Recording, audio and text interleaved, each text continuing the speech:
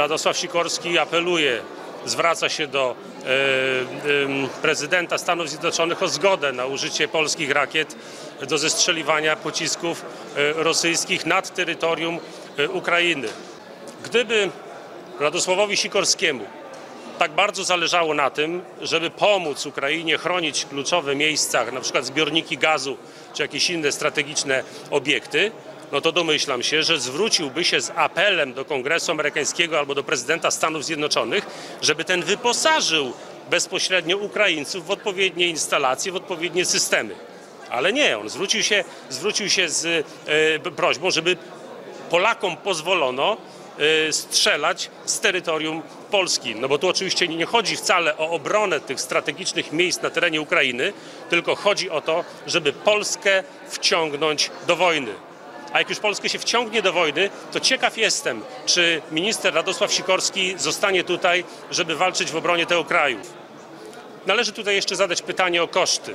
Czy nas na to stać, żeby strzelać do czegokolwiek? Czy mamy tak świetnie zorganizowaną obronę przeciwlotniczą, całą linię graniczną obstawioną systemami przeciwrakietowymi?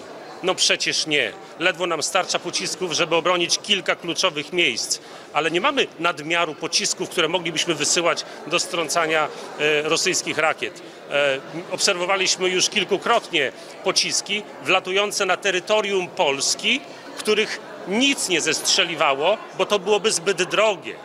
No i teraz oferujemy, że te ostatnie nieliczne patrioty, kosztujące przecież miliony, będziemy e, wysyłać e, za granicę i pozbawić się w ten sposób e, polskich możliwości obronnych. Przecież to jest absurd.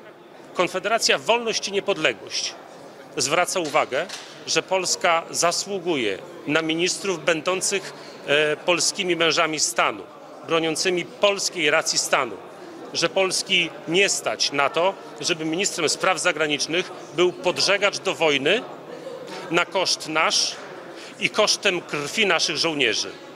Dziękuję.